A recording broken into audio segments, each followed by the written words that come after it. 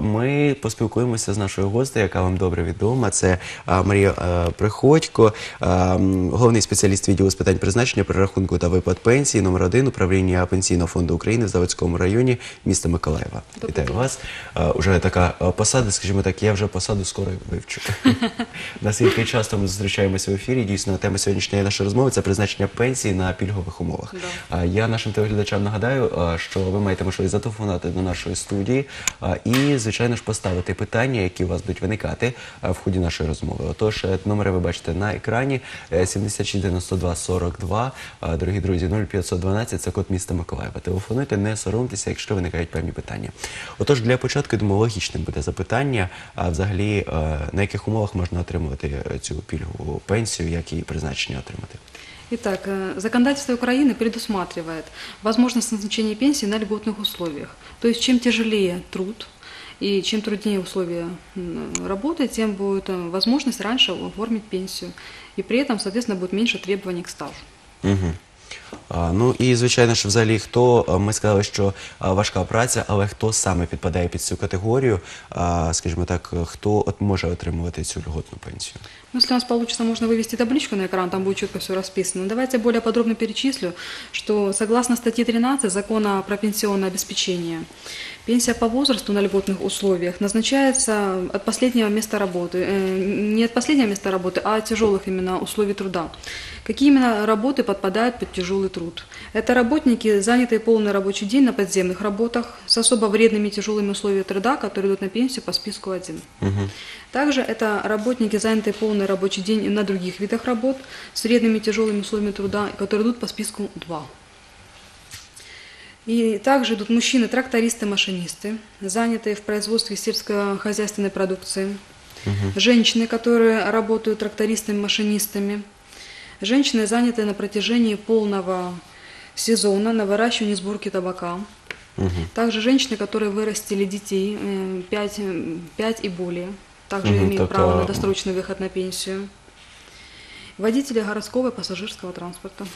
Е, Зрозуміло. Тобто, по суті, е, робота, яка вимагає постійного доступу е, постійного місця перебування на робочому місці, Да. так ну і звичайно ж хотілося б запитати ще про матерів, які виховували більше п'яти дітей, без різниці на якій роботі працювали, так? Да, абсолютно верно, правильно говорите. Это независимо от того, на, каком они, на каких условиях труда и где они работали, но надо им при этом иметь стажа не менее 15 лет.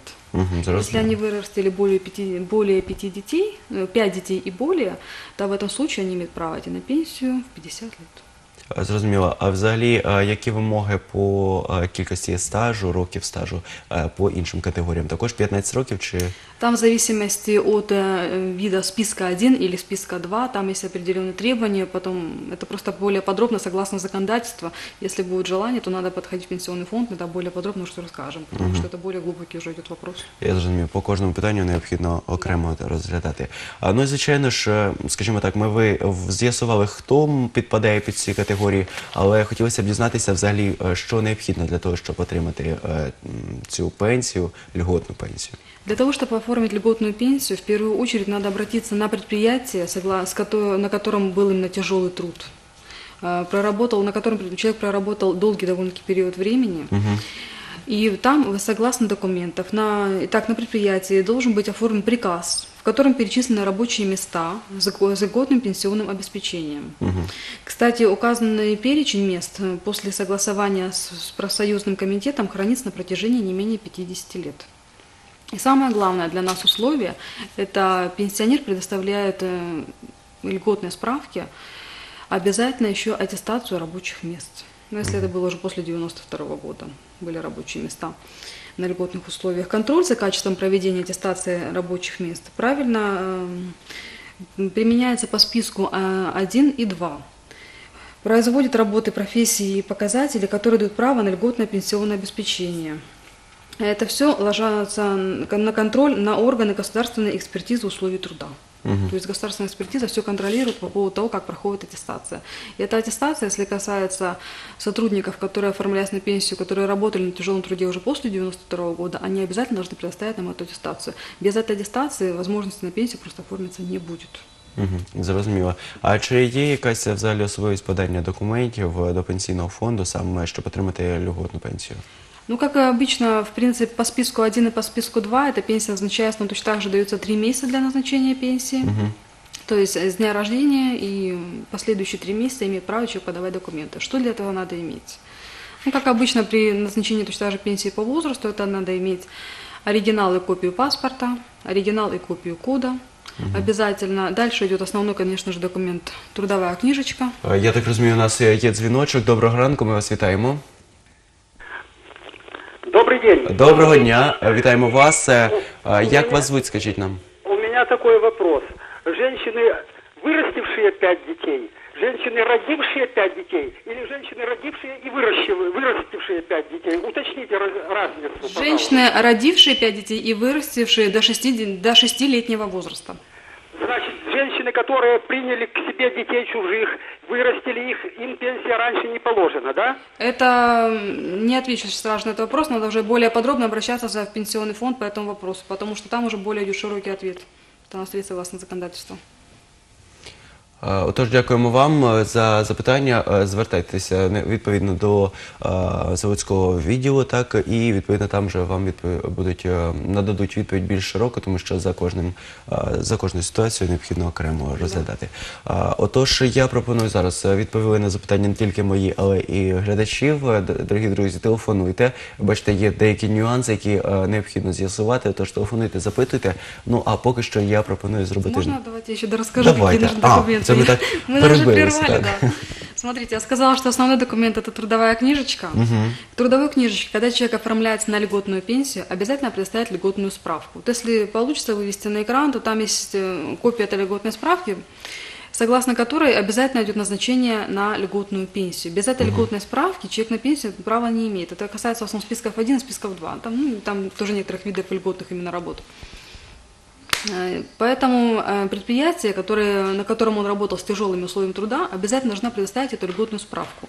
К этой льготной справке идет еще обязательно первичные документы, то есть приказы, копии приказов, согласно которых он там работал, чтобы это все можно было подтвердить. Точно так же идет, как я говорила, про аттестацию рабочих мест. Она точно так же необходима для подтверждения льготной пенсии. Ну и, соответственно, дальше список документов. Если, допустим, это касается женщин, то это, соответственно, идет э, свидетельство о браке, свидетельство о рождении детей, документ о дневном обучении. Точно так же, если касается мужчин, то это идет документ о дневном обучении, военный билет, это все идут оригиналы и копии. Справка о заработной плате за любые пять лет до июля 2000 года, как мы уже рассказывали в своих предыдущих программах по этому поводу. Ну и фотография величиной 4 на 6. А в кількості? Э, достатньо одної штуки. Зрозуміло. Тобто, як я бачу, пакет е, документів дійсно величезний. А, можна звернутися краще до вас. Також, е, якщо дорогі друзі не запам'ятали, то можете звернутися відповідно до відео і вже взяти цей перелік, тому що, як я бачу, він не маленький.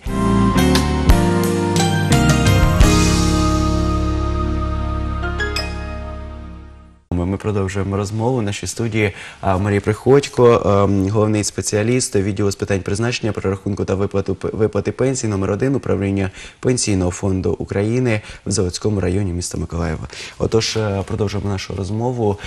І хотілося б запитати ем, інформацію про те, що усі знають, що з 1 квітня 2015 року прийнято законопроект про зміни е, про пенсійне забезпечення. Так от е, хотілося б дізнатися, які зміни чекають на майбутніх пенсіонерів, ну і міста Миколаєва і взагалі України. Итак, да, вы абсолютно верно говорите. Этим законом были внесены изменения по пенсионному обеспечению. Отдельно это касается в основном граждан, которые, озна- которые оформляются на, пер- на пенсию в первый раз. Итак, с 1 апреля 2015 года поэтапно меняется возраст женщины, которая оформляется на льготную пенсию, то есть по выслуге лет или на льготную. И таким образом на, на- за каждый год на 6 месяцев увеличивается а, льготный стаж. То есть, допустим, это пенсия по выслуге лет, то с 1 апреля 2015 года женщины уже уходят, э, женщины и мужчины уже уходят на пенсию, и надо уже общего стажа иметь по льготному не 25, как, допустим, раньше было медикам и учителям, а 25 лет и 6 месяцев. То есть и постепенно с 2016 это уже будет составлять 26 лет. То есть за каждый год добавляется А Який максимальний поріг? Э, Наскільки до- має підійти? Постепенно до 30 лет идет увеличение. Ой, чимало. Тож, дорогі друзі, наші ровесники, хочу сказати, що важкувати нам треба буде оформитися на пенсію, дійсно, е, тому що чи доживемо ми до неї з такою кількістю стажу, але будемо сподіватися, що все буде добре. Ну і звичайно ж, хотілося б дізнатися, які взагалі передбачені зміни е, у призначенні пенсії на пільгових умовах працівникам е, сільського господарства. Давайте расскажем более подробно. Это, конечно, конечно, изменения коснулись и отдельных граждан, таких как сельско, которые работают на сельском хозяйстве. э, которые точно так же пользуются правом на льготную пенсию. Если этого женщины, которые работают на льготном, на сельском хозяйстве и на льготном труде, уходили на пенсию в 50 лет, то теперь они уже будут уходить в 55. И точно так же идет, идет постепенное увеличение. За каждые полгода идет на 6 месяцев идет увеличение. То есть, если до этого уходили в 50, теперь в 55, но это будет все происходить поэтапно. За каждые полгода на 6 месяцев. І В знову ж закон таки при- цікаво, який максимальний буде поріг? До 55 лет, получается, с 50 до 55. Если, допустим, касается это мужчин, то мужчинам, получается, вносят изменения насчет того, что у них увеличивается льготный стаж. Если, допустим, до этого у них было льготного стажа достаточно 25 лет, то теперь уже будет надо требу- ну, нужно будет 30 лет. И точно так же это происходит, увеличение будет происходить до 1 апреля э, 2024 года. И будет происходить постепенно с добавлением на 6 месяцев. Зрозуміло. Тобто а, збільшення постійне, так? А, ну, звичайно ж, будемо сподіватися, що збільшуватися будуть не тільки е, розміри е, цього стажу, але також розміри пенсії, які будуть отримувати наші пенсіонери. Е, тому що дійсно росте усе, і ціни, і все по максимуму. Хотілося б, щоб і виплати також росли Кстати, по максимуму. пенсии, кстати, увеличивается. Чем позже человек уходит на пенсию, в основном как пенсия идет больше.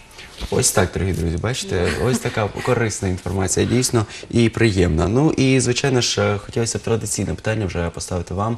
А це про те, чи можна як можна взагалі контролювати е, пенсійні виплати, е, нарахування, ну і звичайно ж свій стаж. е, І як взагалі, коли можна буде піти на пенсію, як це дистанційно зробити? Итак, можно это сделать не выходя из дома. Есть очень удобная система. Так, для контроля данных, которые м, влияют на будущий размер пенсии, создана специальная программа веб-портал, На котором вы можете узнать про свой нако- накопленный стаж, который есть в пенсионном фонде с 1 июля 2000 года, посмотреть начисленную работодателем заработную плату для пенсионеров и узнать текущий размер пенсии, по какому закону пенсия назначена и много чего другого. Мы приглашаем всех граждан зарегистрироваться на бесплатном электронном ресурсе веб-портал Пенсионного фонда Украины. С помощью интернета вы можете, не выходя из дома, решить любые вопросы пенсионного обеспечения. Вы можете обратиться с вопросом в пенсионный фонд. Вы можете точно так же просмотреть, отчисляет ли за вас работодатель какие-либо отчисления. Если отчисляет, то в каком размере. То есть это очень удобная система. Самое главное, что это все вы можете сделать, не выходя из дома. Единственный есть нюанс, что для того, чтобы зарегистрироваться на веб-портале, Все ж таки треба вийти з дому. один раз. Надо для этого прийти в пенсионный фонд обязательно. По, и за- написать нам заявление. Для этого надо при себе иметь паспорт и идентификационный код. Пенсионный фонд Заводского района находится по адресу проспект Октябрьский, 55Е. Подойти надо на третий этаж, в 308 кабинет, или можно обратиться по телефону 58 38 31 и задать какие-либо вопросы вас интересующие. Так, дійсно, ще хотілося проставити деякі акценти, тому що у мене сусідка колись після однієї з, е, з розмов у ефірі запитує, Боже, що ж зареєструй мене в цю систему, каже, ти ж там спілкуєшся, а, бо не буде мені пенсія надходити. Дорогі друзі, нічого страшного, а, пенсія надходить, все нормально, навіть якщо ви не зареєстровані. А, Не думайте, від цього не залежить ні розмір, ні її надходження. Це просто а, система а, віддаленого доступу до спеціалістів, які можуть вас проконсультувати. Отож, не хвилюйтеся, якщо ви не зареєстровані. Е, Бо я ж кажу, е, що в декого виникає відразу паніка, що все пенсія е, не буде надходити, все буде нормально, так як і раніше. Будемо сподіватися, що пенсія буде рости по максимуму. Ну і дякуємо вам за те, що е, завітали сьогодні до нашої студії. Я нагадую вам, дорогі друзі, що сьогодні в нас студії була Марія Приходько, головний спеціаліст відділу з питань призначення, перерахунку та виплати пенсій номер один управління пенсійного фонду України в Заводському районі міста Миколаєва. Отож, дорогі друзі, ось так швиденько добігла до завершення наша розмова. Bye.